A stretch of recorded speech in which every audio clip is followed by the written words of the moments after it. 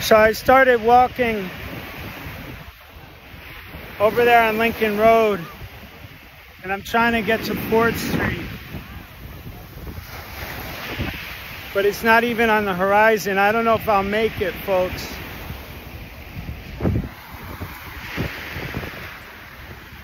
And what with all these interruptions and obstacles along the way, uh, I haven't had a cappuccino in hours.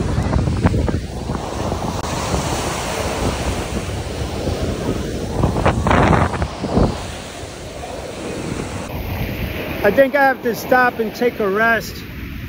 Possibly even book a hotel for a couple hours. I mean, I've been walking for almost 15 minutes and I've only been two blocks, three blocks at the most. It's not like walking on concrete with shoes now. It's on the sand. It's very, it's very difficult because your foot your foot gets sunk into the sand and you gotta lift it back out. It takes a lot of energy.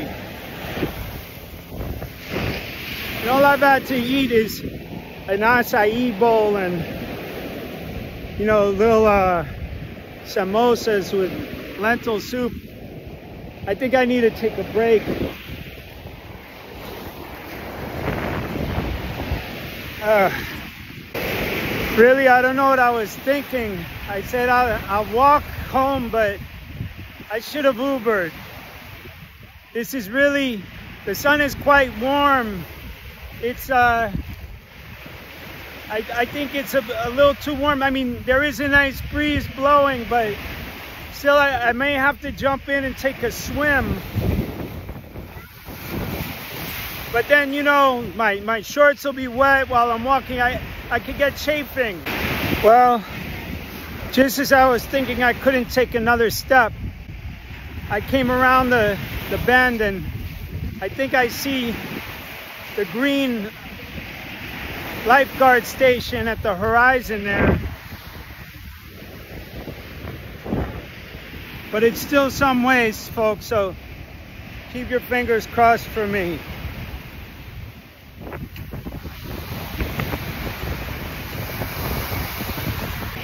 And so you have some idea what I'm up against and you don't think I'm being just a big wuss.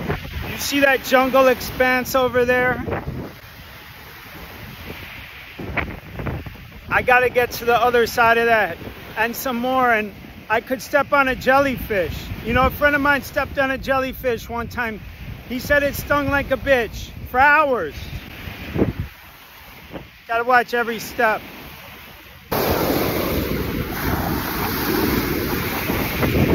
can't tell you how long I've been walking here.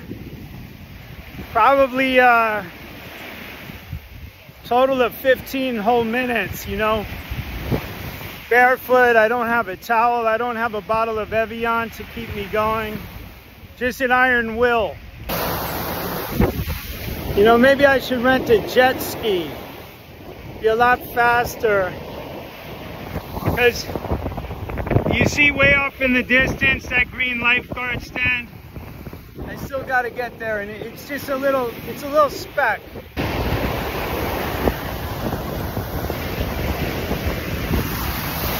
You know, in a cruel twist of fate, it's sort of like a, what do they call it, a mirage when you're stranded in the desert.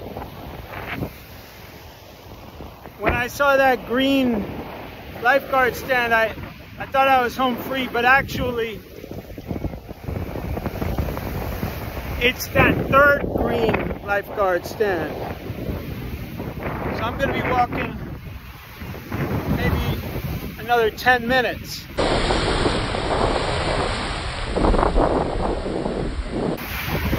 So I finally made it to the first green lifeguard stand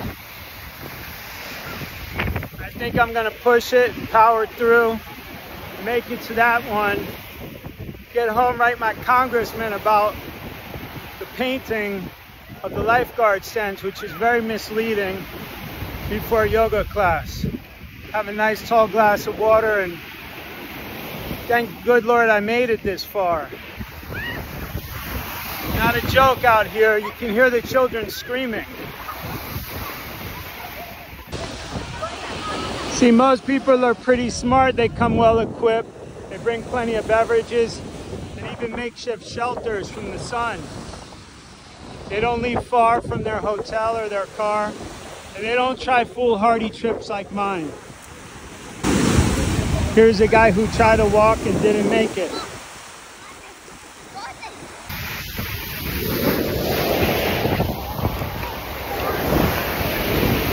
As I'm nearing my goal, ladies and gentlemen, I don't want to say I've made it yet, but I'm not a quitter.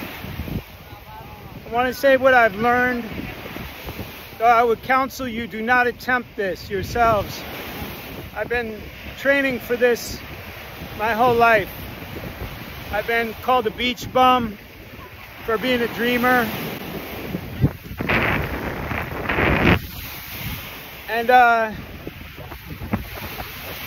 I gotta say, though it was difficult at times, and I was tempted to give up, what did I learn along the way?